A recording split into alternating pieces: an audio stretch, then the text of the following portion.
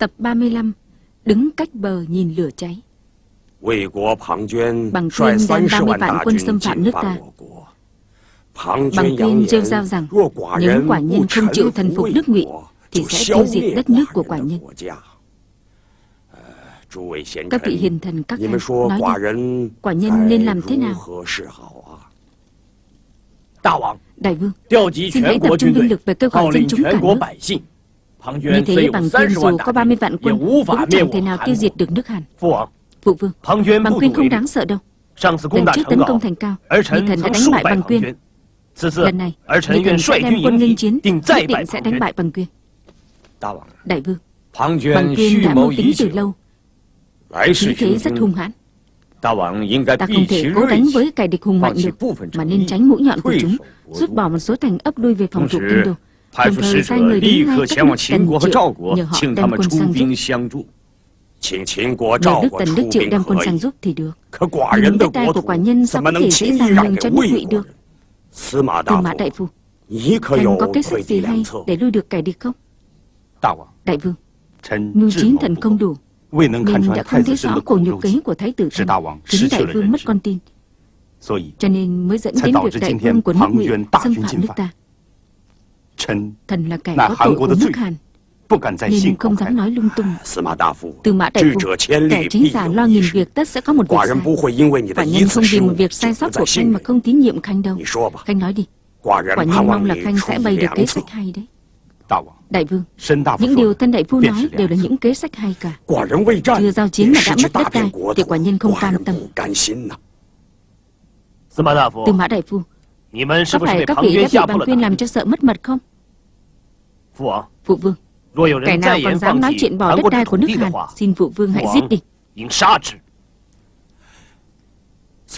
Tư mã đại phu Có quyết sách gì hay có thể không phải bỏ đất đai không? Hy sinh phần lớn quân lực nước Hàn Và chờ quân nước khác sang giúp. Không được.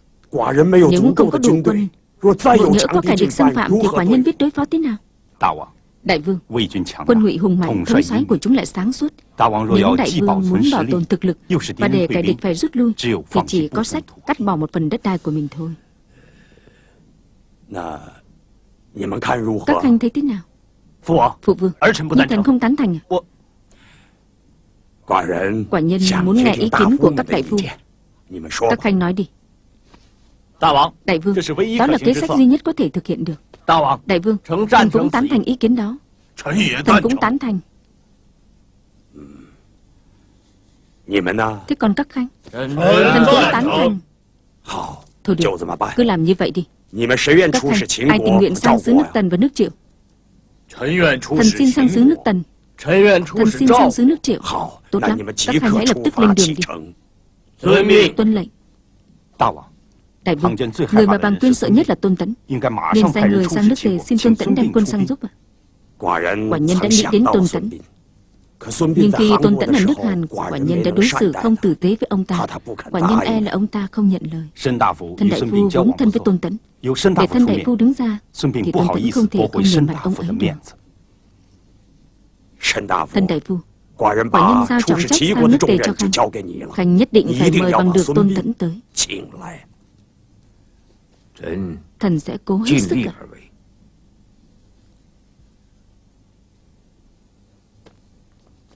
Nguyên soái, quân nước Hàn cho đã rút. Bọn họ đã rút khỏi nước tên ấp rồi ạ. Tốt, rất tốt. Đây là tin mà bản nguyên soái mong nhất. Đấy. Hãy lệnh cho tiền quân lập tức tiến về kinh đô nước Hàn. Rõ.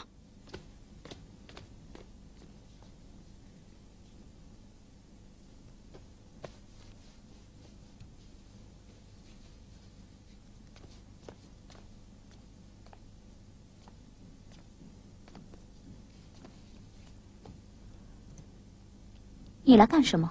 Tướng quân đến đây làm gì? 好久不见 Đã lâu 了， không gặp, 来看 ta 看 đến 你。 thăm nàng.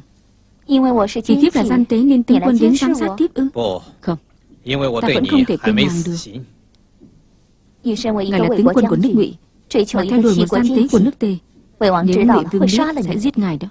你还是死了 Ngài 这 hãy 条 nên 心 quên。chuyện đó đi. 我不说， Ta không 没 nói 人 thì 知道 chẳng 你 ai 是 biết nàng 奸 là 细。 gian tế cả. Chẳng có chuyện gì giữ kín được mà Sớm muộn gì người ta cũng sẽ biết. Một khi có cải biết chúng ta sẽ lập tức rời khỏi nước ngụy. Tướng quân không cần đến chú của mình nữa. Vì người ta không cần bất cứ thứ gì. Vì một người con gái như tiếp Thì không xứng đâu. Ta đã làm như vậy thì nhất định là đáng. Không Tướng quân vì tiếp như vậy không đáng đâu. Đáng chứ. Ta bảo đáng là đáng mà. Bằng tướng quân. Tướng quân hãy nghe tiếp nói hết ta. Vì tôn tấn Tiếp đã hận bằng quyên và cả tướng quân. Tiếp đã ngầm thề rằng nhất định sẽ giết các người. Nhưng đáng tiếc Tiếp không phải là chị Tiếp Tiếp không giết nổi các người. Bằng tướng quân. Tướng quân chung sống với một kẻ thù như vậy Thì tính mệnh của tướng quân lúc nào cũng sẽ gặp nguy hiểm đấy. Ta không sợ. Ta chỉ cần có được nàng. Dù chỉ một ngày Rồi có phải chết Ta cũng cam lòng. Chẳng thà thiếp chết Chứ không thể để tướng quân có được thiếp. Ta đáng để nàng ghét như vậy ư? Không. Vì tướng quân là kẻ thù của thiếp. Chỉ cần nàng không ghét ta Thì ta vẫn hy vọng. À phải rồi. Ta quên không nói với nàng. Chú của ta đã ra đi. Ông ấy đang tấn công Đức Hàn. Nên chẳng ai quản thúc ta cả. Ngày nào ta cũng có thể đến với nàng. Ngày nào cũng đến cũng chẳng ăn thua được. Không ăn thua cũng chẳng sao. Chỉ cần được nói chuyện với nàng Là ta mãn nguyện rồi. Hôm nay ta có chút việc. Nếu không ta có thể ở đây vài canh giờ nữa. Cho đến khi trời tối. Thôi, để lần sau vậy nhé.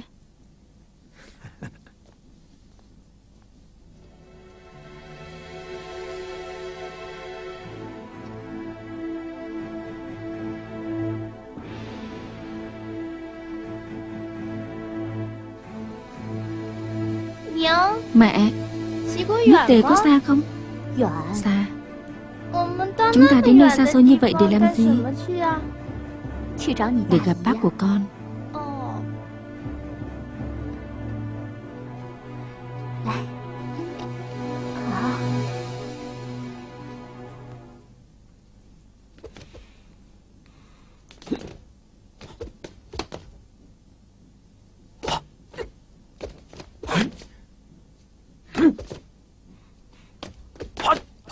Bằng tướng quân, Trung Lý Thu đã đem con trai đi rồi ạ. À? Bọn họ đi về hướng này, ra khỏi cửa đông ạ. À? Tốt, ta biết rồi. Người về đi. Vâng.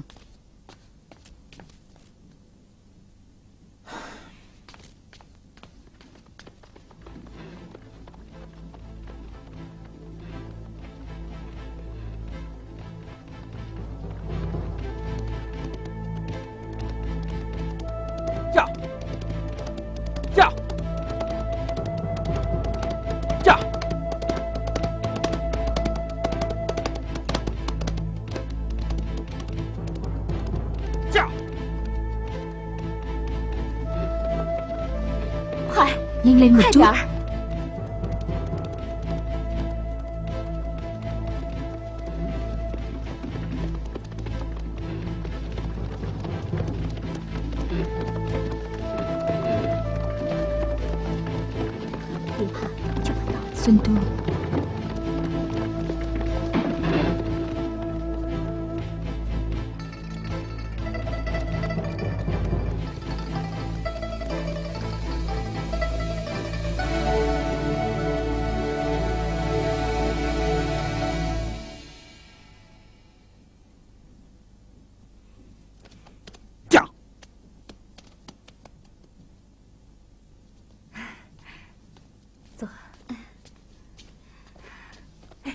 Nào Xuân Thu lại đây để bác bế cháu nào. Xuân Thu chào bác đi con. Chào bác. Chào bác.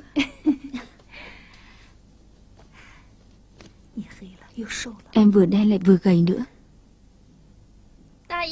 Bác, cháu cũng đen và gầy. à? Cháu không đen cũng không gầy đâu. Mẹ, bác bảo con không đen cũng không gầy.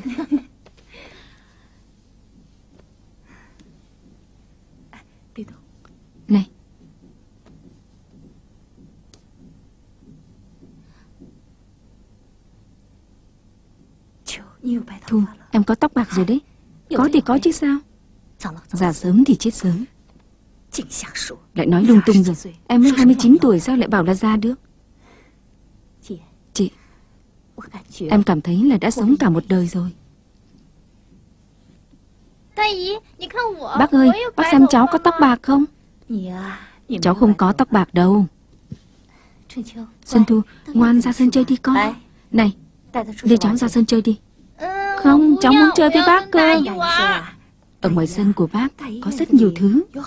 Có chó này, có ngựa này Và có cả hưu nữa. Cái gì con cũng thích. Bác sẽ cho con tất cả. Con ra ngoài chơi đi được không? Nào, đưa cháu ra ngoài chơi đi.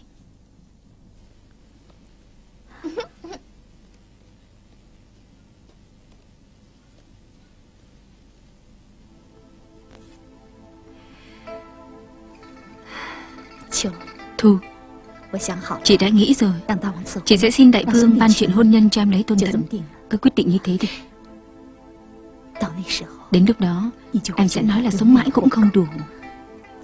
Chị, đừng mất công nữa. Em không lấy tôn thẫn đâu. Đừng giờ tính nết trẻ con ra nữa. Nghe lời chị đi. Không phải em giờ tính nết trẻ con đâu. Quả thực là em không thể lấy tiên sinh được. Không lấy tiên sinh thì em sang nước Tây làm gì? Bằng Quyên đem đại quân nước Ngụy sang tấn công nước Hàn. Giờ nước Ngụy rất trống vắng. Em đến để báo cho Tôn Tẫn rằng nếu lúc này mà tấn công nước Ngụy thì chắc chắn sẽ thu được toàn thắng. Vậy là em vẫn vì Tôn Tẫn rồi. Chị, em đến để giúp Tôn Tẫn đánh thắng Bằng Quyên, chứ không phải vì muốn lấy Tôn Tẫn đâu. Chị, sau khi chị ra đi, em đã nghĩ lại, không nên lấy tiên sinh thì hơn.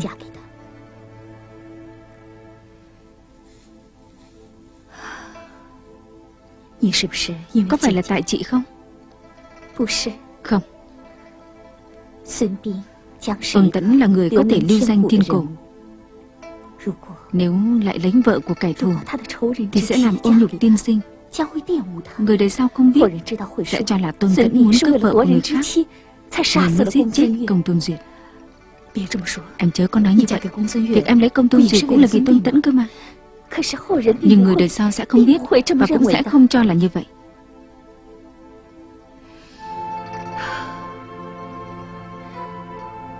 Chị. Chị. Hãy mau đem tình hình nước ngụy báo với Tôn Tẫn đi. Chỉ cần em có thể giúp được tiên sinh lập công dựng nghiệp Thì em đã vô cùng mãn nguyện rồi. Phu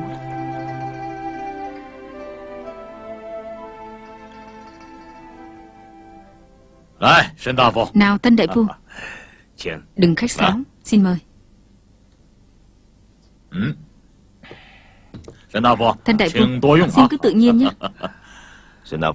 Tân đại phu sang nước tề có phải là muốn mời quân cứu viện không? Cũng phải. Mà cũng không phải. Thế nào là cũng phải mà cũng không phải?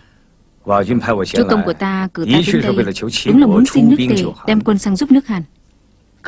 Vì khi tiên sinh đến nước Hàn đã bị vua tôn nước Hàn gây khó khăn trăm bề, suýt nữa tôn tiên sinh bị mất mạng. Nếu ta mà là tôn tiên sinh, thì nhất định sẽ án binh bất động. Đứng cách bờ nhìn lửa cháy. Cho nên nói thế cũng phải, mà cũng không phải. Thần đại vua. Nếu ta bảo là chúng ta đang tập trung lương thực, chuẩn bị đem quân sang giải cứu nước Hàn, thì ngài sẽ không ngạc nhiên chứ? Sao ta có thể ngạc nhiên được? Các vị chỉ nói thế thôi, chứ sẽ không đem quân sang cứu nước Hàn đâu.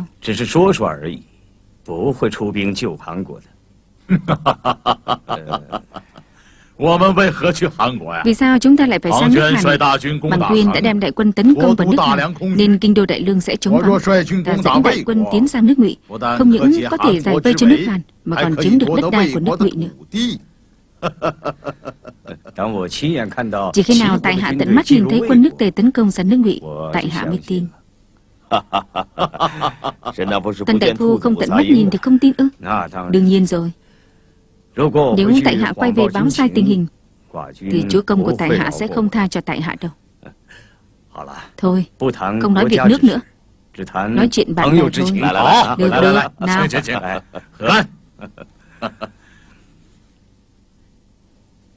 Đại vương, công tôn đại phu sang xứ nước Tần đã quay về.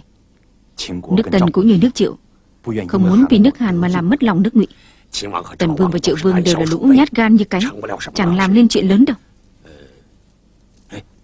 Này, Thế Tần đại phu có tin gì không? Vẫn chưa. Khi đi thần đại phu có nói với quả nhân rằng Nếu không tận mắt nhìn thấy nước tề xuất quân Thì ông ấy sẽ không quay về. Nếu nước tề không chịu xuất quân Thì đất nước của quả nhân nguy mất. Đại vương Chúng ta có thể cắt đất đai nhường cho họ. Quả nhân đã từng sai người đến đàm phán với bằng quyền Nhưng hắn tham lam lắm. Quả nhân chẳng thể nào thỏa mãn được yêu sách của hắn. Hắn đòi bao nhiêu à? Hắn muốn quả nhân thần phục nước ngụy Đại vương nên nhận lời thần phục nước ngụy đi. Quả nhân không cam lòng. Đại vương, Đây chỉ là kế tạm thời thôi. Khi có thời cơ, chúng ta sẽ thoát khỏi sự thống chế của nước ngụy. Nếu quả nhân thần phục nước ngụy Thì sẽ chẳng bao giờ ngẩng đầu với các nước chư hầu được.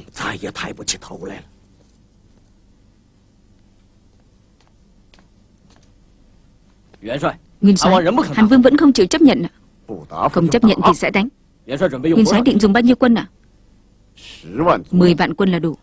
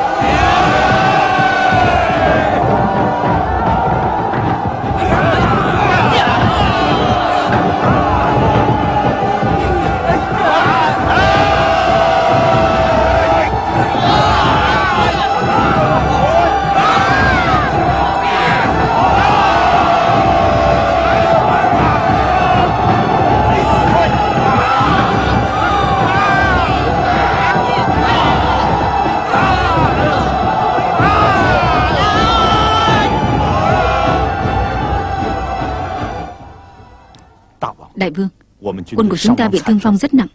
Đại vương mau quyết định đi. Nếu đến khi bằng quyên chiếm được kinh đô Đại vương mới chấp nhận yêu cầu của hắn.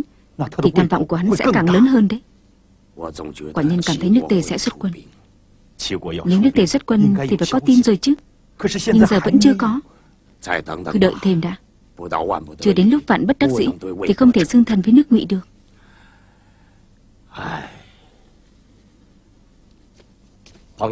Bằng nguyên soái Quân nước Hàn đã bị chúng ta đánh cho điêu đứng. Nếu điều thêm 10 vạn quân nữa Thì chỉ cần vài ngày là phá được kinh đô nước Hàn. Không được động đến hậu quân. Đó là số quân ta dùng để đối phó với Tôn Tẫn đấy. Nhưng đến nay Tôn Tẫn vẫn an binh bất động. Theo ta hắn không dám đến đây đâu. Không phải là hắn không dám đến Mà là muốn đợi khi chúng ta bị quân nước Hàn làm cho quá mệt mỏi hắn mới tới. Tính toán của hắn khá đấy nhưng liệu ta có thể mắc lừa hắn không?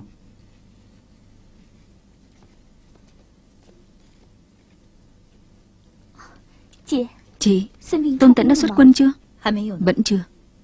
Có phải tiên sinh không tin em không? Sao có thể như vậy được? Vậy vì sao tiên sinh vẫn chưa xuất quân? Thế này nhé Chị sẽ gọi tiên sinh đến để em trực tiếp hỏi tiên sinh. Em không hỏi đâu. Chị hỏi đi thì hơn từ khi em tới nước tề Hai người vẫn chưa gặp nhau. Hãy nhân cơ hội này hai người gặp nhau đi. Em không gặp đâu. Còn bé này Trong lòng đã muốn chứ gì? Bài đâu?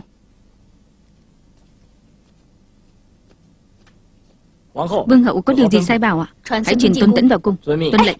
Khoan đã. Vương hậu còn có điều gì sai bảo ạ Chị, theo em đừng nên gọi Tôn Tẫn vào cung. Em không muốn gặp tiên sinh đâu. Em sao vậy? Chị, em sợ lắm. Người lui ra đi. Vâng.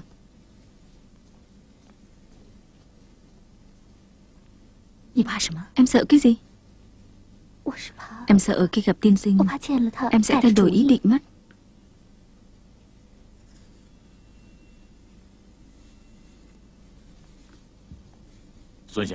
Tuân tiên sinh Khi nào thì chúng ta mới xuất quân?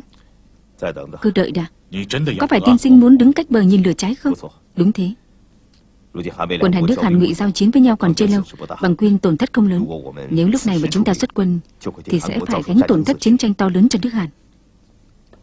Ta lo là nước Hàn không chịu nổi áp lực của Bằng Quyên Sẽ thần phục nước Ngụy mất. Như vậy sẽ làm tăng thêm thế lực cho nước Ngụy. Điều đại tướng quân nói không phải là không có lý. Nếu Hàn Vương biết chúng ta sẽ xuất quân Thì sẽ không chịu đầu hàng Và sẽ dốc toàn lực để đối phó với nước ngụy. Nhưng nếu không thấy chúng ta xuất quân Thì Tân Đại Phu sẽ không chịu quay về nước để báo lại. Đừng mong gì vào ông ấy. Chúng ta nên cử một sứ giả biết ăn nói sang nước Hàn. Nói là Tân Đại Phu sang nước Tề bị ốm Không thể về nước được. Đại tướng quân Hãy để cầm tiên sinh sang dưới nước Hàn được không? Cũng chỉ có ông ta mới có thể đảm đương được nhiệm vụ này thôi.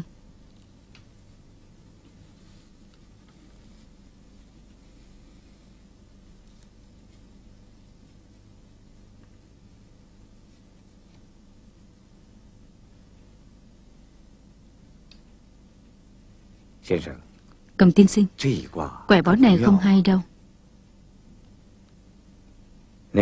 Nội quẻ là thân Tức là thuận. Còn ngoại quẻ là cấn, tức là rừng. Có thể nói, quẻ này là âm thịnh dương suy. Tiểu nhân đắc chí, mà người quân tử thì khốn đốn. Bởi vậy, tốt nhất tiên sinh nên ở trong nhà, đừng nên đi xa.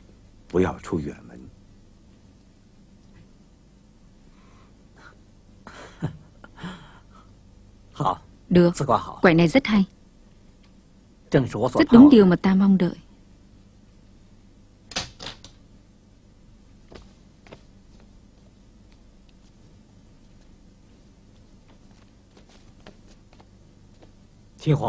Cầm hoạt xin khấu kiến vương hậu.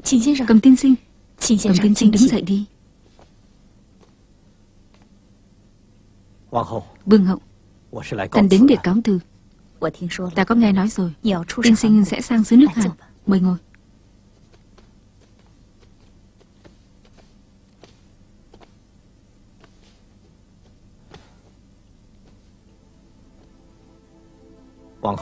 Vương hậu Thần vừa bói một quẻ là quẻ hung Đừng ngay thầy bói làm gì Họ chỉ toàn nói lung tung thôi。Thần biết là vương hậu rất hận thầy bói Nhưng thần lại tin vào quẻ bói。Vương hậu Lần này thần sang xứ nước Hàn Nếu thần gặp ở chuyện gì không may Thì mong vương hậu hãy nhớ lấy lời thần。nếu cầm tiên sinh tin vào lời thầy nói như vậy, ta sẽ nói với đại vương đổi người các sang xứ nước Hàn. Không thể. Việc sang xứ nước Hàn chỉ có thần mới có thể đảm đương được thôi. Vương hậu, khi ở Thủy Đô, thần có rất nhiều điều muốn nói với Vương hậu, nhưng rất khó nói ra. Có chuyện gì cầm tiên sinh cứ nói đi. Thần nói ra nếu Vương hậu có hận thần, thì đừng nên hận ngay Mà nên đợi thần đi đã. Ta sao có thể hận tiên sinh được? Tiên sinh nói đi. Trung ly cô nương. Thần có thể xưng hô với vương hậu như vậy được không? Được. Như thế là tốt nhất. Cô nương còn nhớ lần đầu tiên chúng ta gặp nhau không? Nhớ chứ. Hồi đó để cứu Tôn Thắng ra khỏi nước ngụy. Ta đã sang nước để gặp điều kỵ tướng quân. Ta đã chặn xe ngựa của các vị. Ta còn chặn con xe của các vị. Ngày lúc đó ta đã yêu thương cô nương rồi.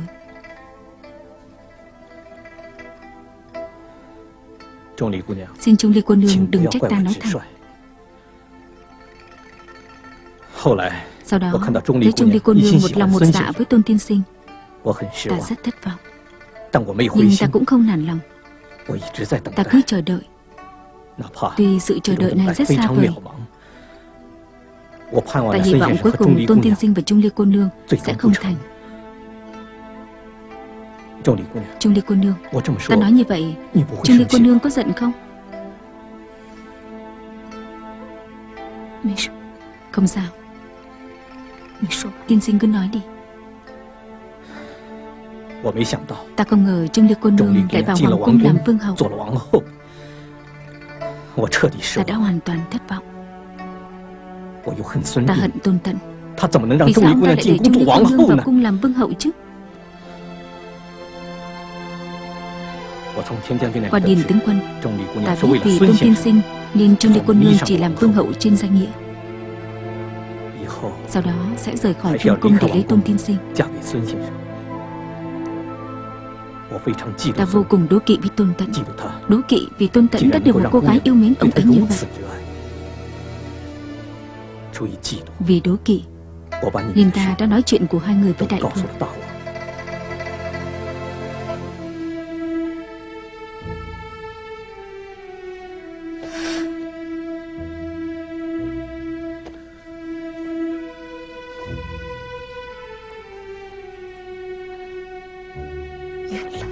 Thì ra chính là ngươi. Ừ. Chính là ta. Ta đã đem tất cả chuyện của hai người nói với đại vương.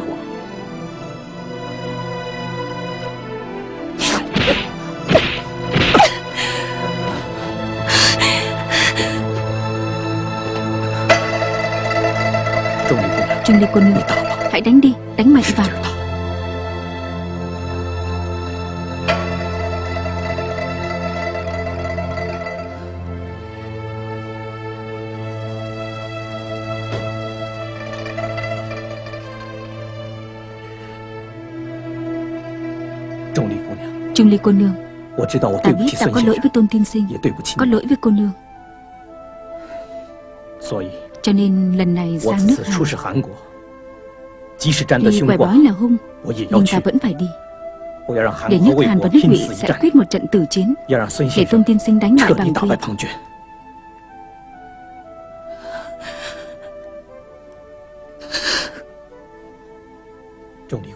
Trung Ly cô nương. Nếu cô nương không đánh ta nữa Thì ta phải đi đây. Tôn tiên sinh và Điền tướng quân đang chờ để tiễn ta lên đường.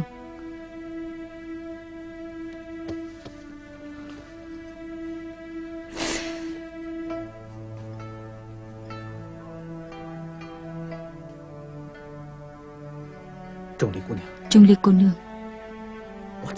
Ta đi đây.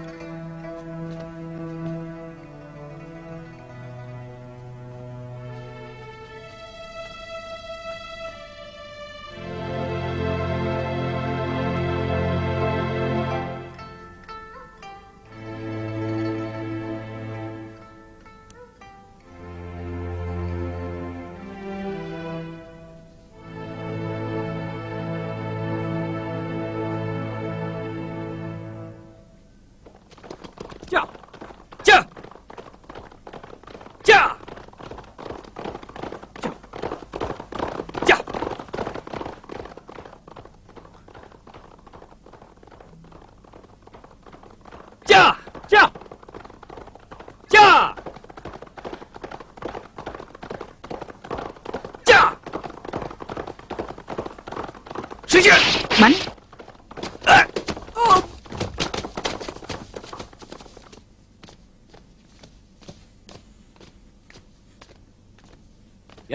Nguyên soái Đã bắt được một người nước tề ạ.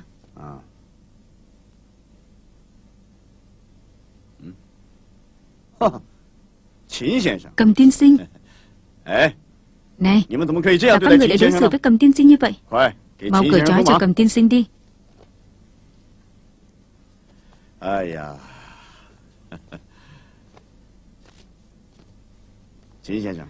tiên sinh. Hoàng Quyên không biết là tiên sinh tới liền đã thất lễ.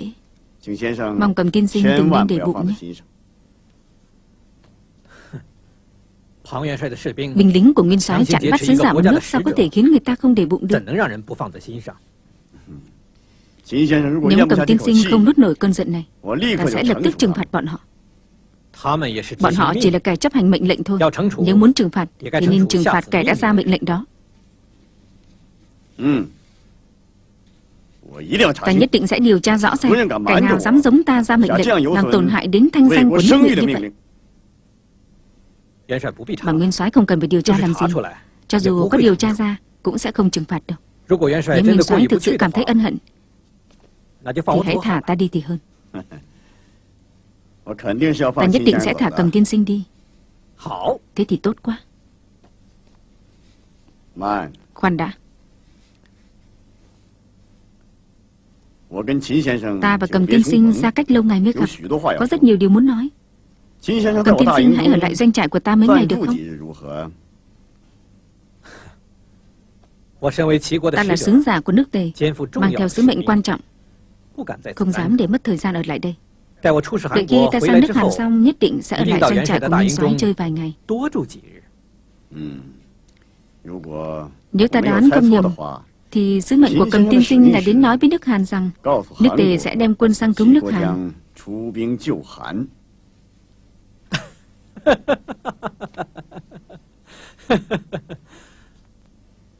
Bằng Nguyên soái Ngài đoán sai rồi. Vậy sứ mệnh của ngài là gì? Ta là sứ giả nước Tề. Sao có thể đem bí mật của nước mình nói với kẻ địch được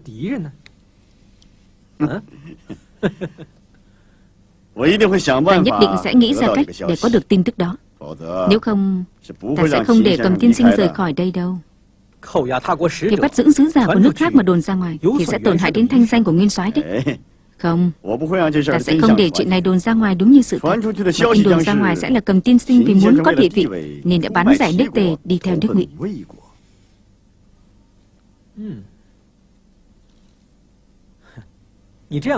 Ngài làm như vậy không cảm thấy bị ổi ư?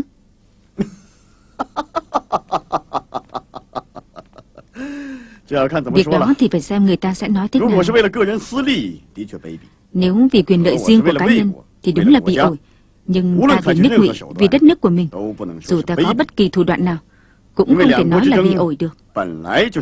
Vì hai nước đang tranh giành nhau Vốn đã phải bất chấp thủ đoạn rồi.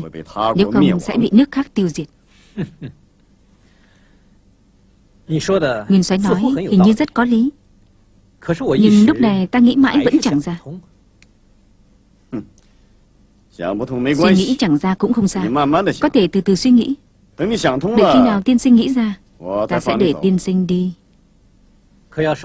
Nếu ta cứ không nghĩ ra thì sao? Vậy ta đành phải dùng cực hình Để ép buộc tiên sinh vậy Nếu ta không sợ cực hình thì sao? Ta đành phải giết tiên sinh. Nhưng giết ta thì nguyên soái cũng chẳng thể có được bí mật đó. Ta giết để cho người khác thấy。Bởi vì những thứ mà ta muốn có Nhất định ta phải có được。Nếu không Ta để cho nó phải hủy diệt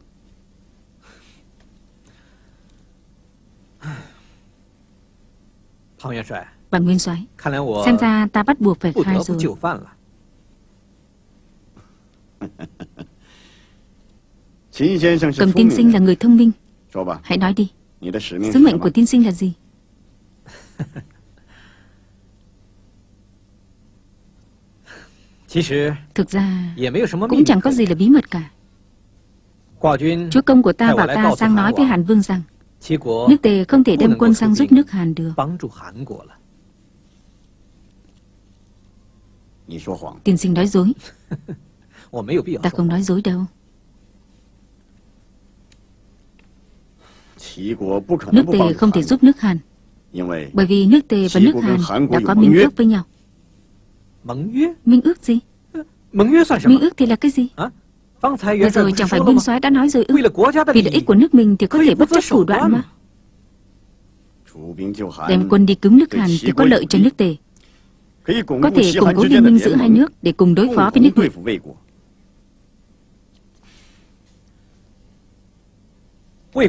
Nước ngụy cũng đã từng có minh ước với nước Hàn. Hơn nữa còn đem con tin sang nước Hàn. Nhưng khi nước Tần và nước Ngụy giao chiến với nhau Nước Hàn có xuất quân theo đúng minh ước không? Không。Với những đất nước sớm nắng chiều mưa chẳng giữ tín nghĩa như vậy。Thì nước Tề cần gì phải hy sinh tướng sĩ của mình Lãng phí lương thảo của mình。Tiên sinh sắp thuyết phục được ta rồi đấy Nhưng ta vẫn không thể tin được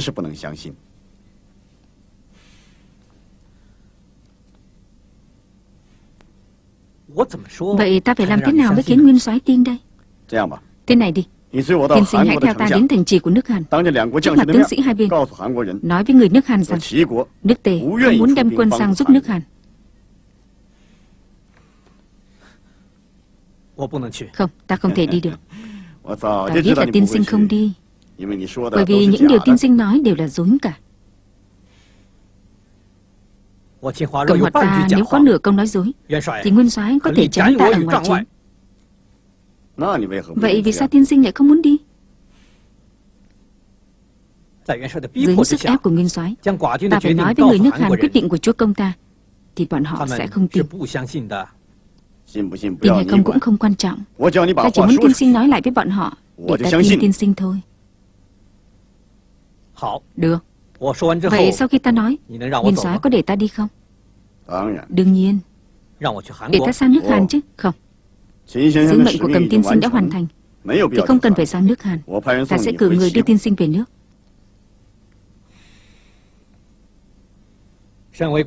Ta là sứ giả của một nước Mà không sang nước bạn đúng hẹn để hoàn thành sứ mệnh của mình Mà lại xuất hiện trước nước bạn Như một kẻ tù binh của địch quốc. Thì ta còn mặt mũi nào để trở về nước Tây đấy? Vậy tiên sinh định đi đâu? Ta sẽ vào nơi rừng núi ẩn cư, không ra nữa. cần tiên sinh là một nhân tài hiếm có. Nếu ẩn cư nơi rừng núi thì chẳng phải là rất đáng tiếc ư. Nếu ở lại chỗ ta thì sao? Hôm nay ta có thể phản bội nước Tề, thì ngày mai sẽ có thể phản bội nước Ngụy.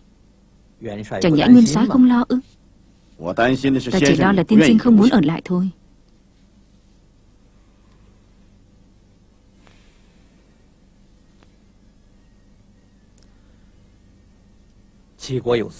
Nước Tề đã có tôn tấn. Ta mà ở nước Tề thì suốt đời khó có thể lập được công trạng, khó có thể nổi danh.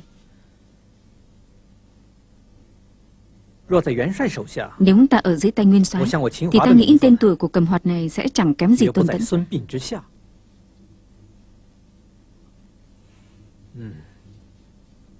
Được. Ta nhận lời với nguyên soái. Được lắm.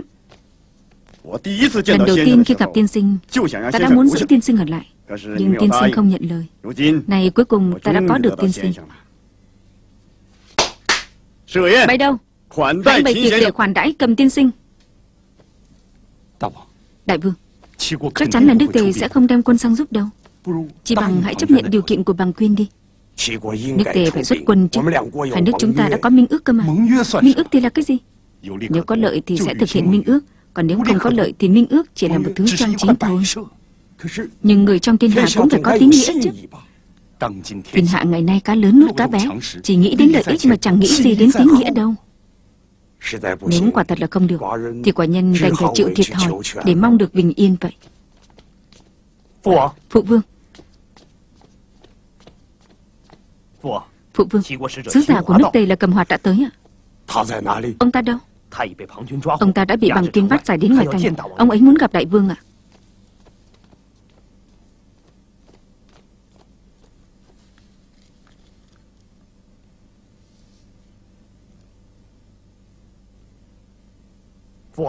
Phụ vương trông kìa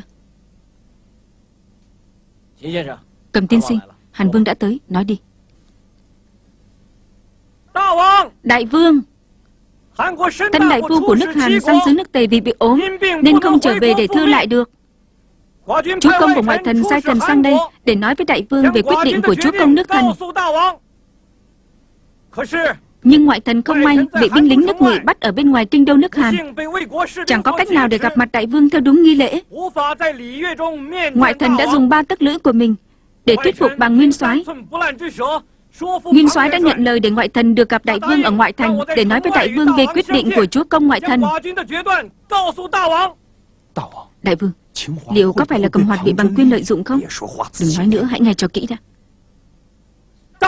Đại vương, bằng nguyên soái không muốn ngoại thần nói thực. Nhưng ngoại thần không thể làm trái với mệnh lệnh của chúa công. Cầm tiên sinh, sao ngài lại nói thế? Chúa công của ngoại thần đã quyết định đem quân sang cứu nước Hàn. Tôn Tẫn đã dẫn 30 vạn quân tiến vào nước Ngụy. Im đi đừng nói nữa Tôn Tẫn bảo thần nói với đại vương rằng Nếu không đánh bại được quân ngụy thì quyết không rút quân Dù có nói láo ta sẽ giết chết ngươi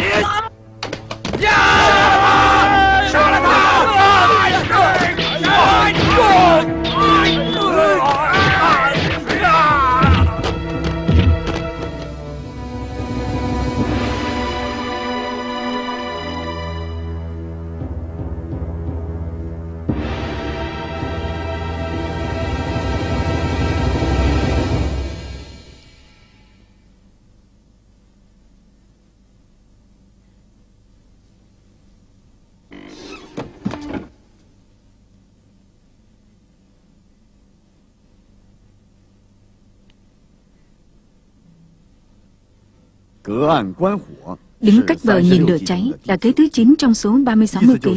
Ý của nó là ngồi trên núi xem hậu đánh nhau. Nội dung của kế này là lặng yên quan sát mâu thuẫn nội bộ cày địch để thu lợi cho mình. Tiền Tấn đã dùng cái này để quân đội hai nước Ngụy Hàn đánh lẫn nhau, làm suy yếu quân lực của Bằng Quyên, để có lợi cho việc chiến thắng Bằng Quyên. Muốn biết kết quả cuộc chiến cuối cùng giữa Tôn Tấn và Bằng Quyên ra sao?